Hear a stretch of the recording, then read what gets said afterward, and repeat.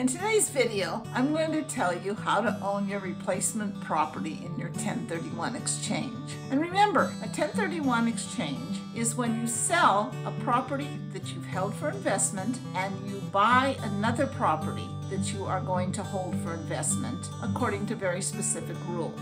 One of these rules is that you sell the property in one name and you acquire it in exactly the same name. And you show that, of course, on your income tax. In a 1031 exchange, you must use the same name that you sell your property in and that you buy your next property with. So, for an example, if you're Joe Brown, you are selling your property and you're acquiring a property in the name of Joe Brown. Let's say that you're selling the property as Joe Brown and Sue Brown. Then the property you're buying will be in the name of Joe Brown and Sue Brown. If you are the Brown LLC, the property you're buying should be in the Brown LLC.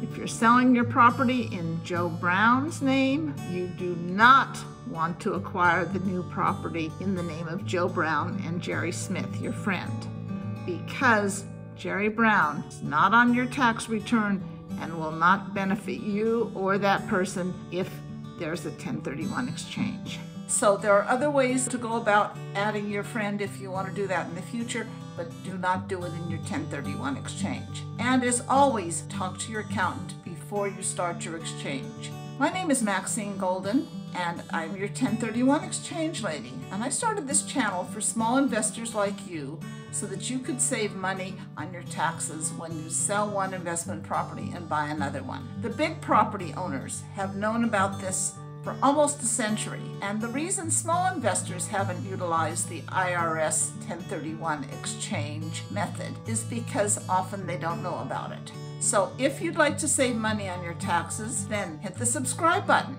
and I will see you in the next video.